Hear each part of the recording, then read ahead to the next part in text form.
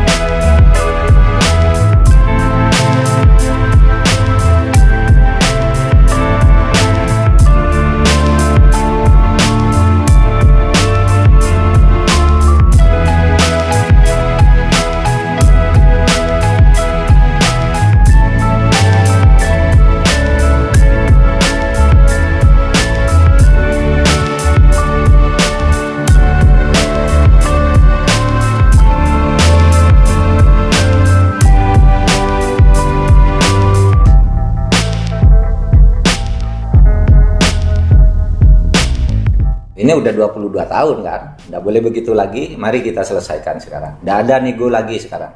Datang aja ke kantor, jelaskan kalau punya bukti sudah lunas dan itu sah ya kita nyatakan lunas. Tapi kalau belum dan jaminan masih ada di kita, jangan coba-coba dijual, disewakan atau dialihkan ke pihak lain. Itu tidak boleh. Nggak ada nego-nego.